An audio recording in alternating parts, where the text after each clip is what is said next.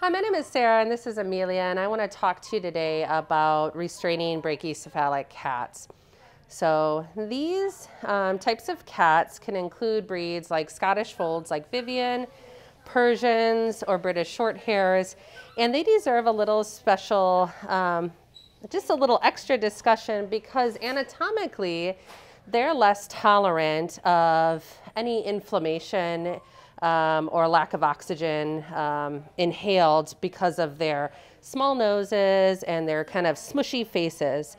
So um, for brachycephalic cats, we just have to be really careful to keep them um, safe from that extra stress and we avoid techniques like scruffing in cats. These cats also are a little bit notorious for having attitudes in hospital and while some of them, like Vivian's a really nice cat, um, she gets a little fussy with nail trims and we should always kind of just go slow with them. But nowadays, if you are scruffing Persians or brachycephalic cats, I, would really recommend that you think about better ways to approach restraining them that are safer uh, for the patients. So one thing we can do, and when we're, I'm just going to use this as a demo, is put an e-collar on them.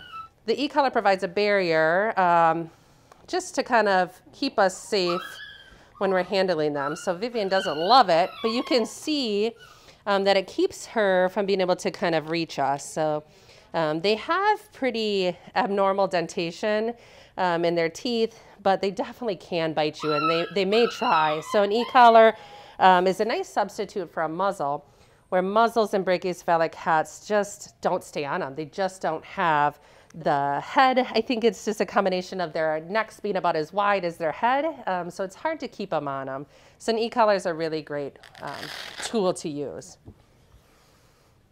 So another option we can use is a towel. And this is one of our favorites here. So we just roll a towel and we use it around their necks, kind of like a turtleneck. and that allows me to restrain her without scruffing or putting any um, extra pressure on one part of her neck. Um, so doing that, you'll be able to see I can roll her to the side like this and more gently restrain her. I also like using blankets to help um, just the, protect the person that's either drawing the blood or using the nail trimmers in addition to having the rolled towel.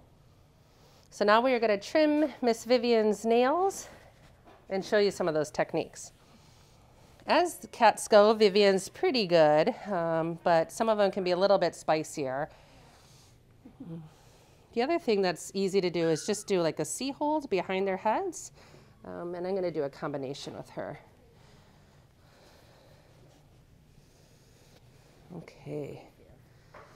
okay. And then I'm going to just stick one leg out. I'm going to hold behind the elbow.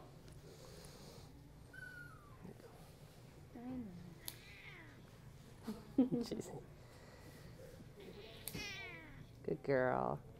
that one's a little long. yeah, you could. that one. Yeah. Good girl. No, it's okay. Good girl. Okay, that's one foot down. And then I'm going to do the same thing with this bottom foot tuck the front one in.